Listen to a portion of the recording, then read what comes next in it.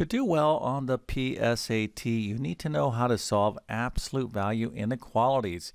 So let's take a look at this practice problem. So we have the absolute value of 1 third c minus 4 is less than or equal to 10. Okay, so how do we solve absolute value inequalities? Well, basically what we want to do is take everything inside of the absolute value function.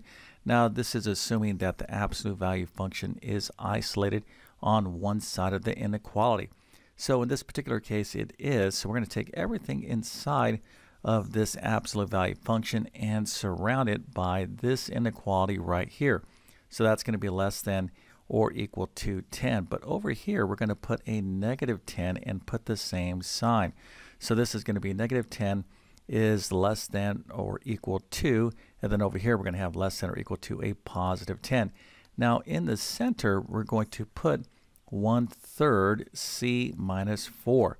Okay, so this is the setup, and now we have a compound inequality, and we want to go ahead and clean this uh, compound inequality up for c.